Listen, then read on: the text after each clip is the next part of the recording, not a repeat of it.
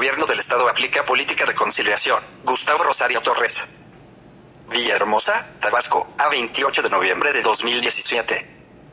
El gobierno del estado aplica una política de conciliación para resolver las diferencias en un marco de respeto a la ley, sostuvo el secretario de gobierno, Gustavo Rosario Torres, en su comparecencia ante el Pleno del Congreso local, con motivo de la glosa del UBA informe del gobernador Arturo Núñez Jiménez.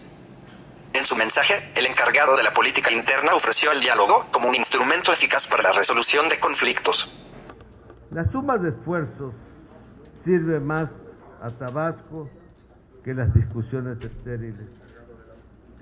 Como tabasqueño y como titular de una dependencia como la Secretaría de Gobierno, tengo la convicción que debemos repensar Tabasco con toda seriedad y optimismo, es decir, construir acuerdos para un futuro mejor dialogar en el estricto sentido del término. Rosario Torres detalló los avances en las dependencias sectorizadas a la Secretaría de Gobierno, como la modernización del registro civil, con el fin de mejorar los servicios y acercarlos a la ciudadanía.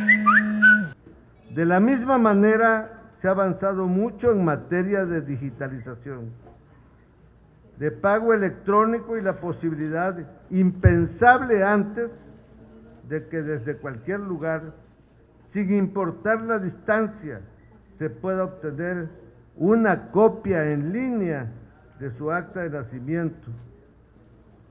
A la fecha, 1.276 ciudadanos han realizado el trámite bajo esta modalidad.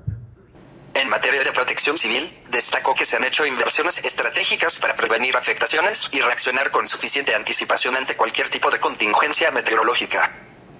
El Instituto de Protección Civil ya ha cambiado su rostro de manera notable.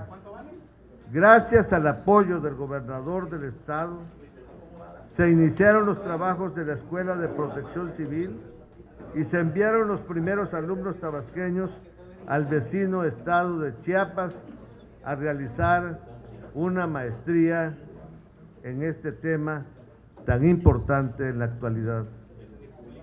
El radar del que tanto se ha hablado ya se está instalando y a la fecha hay 16 antenas colocadas y conectadas a 84 más de la Conagua. Adicional en el que se ha trabajado es en el ejercicio del Fondo de Aportaciones para la Seguridad Pública 2017. Los avances logrados permitirán cumplir con las metas trazadas, expuso. Agregó que el Plan Integral de Seguridad Pública es una hoja de ruta con resultados en diversos rubros.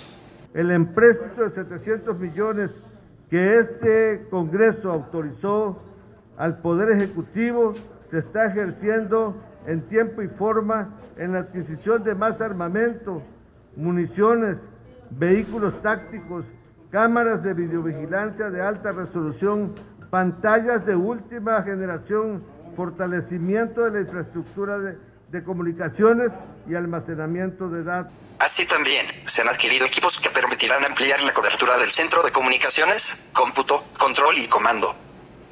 Gustavo Rosario hizo énfasis en que los programas sociales del gobierno del Estado han sido blindados electoralmente, al tiempo de establecer que aquellos funcionarios con aspiraciones en las elecciones del próximo año se van a separar del cargo en tiempo y forma.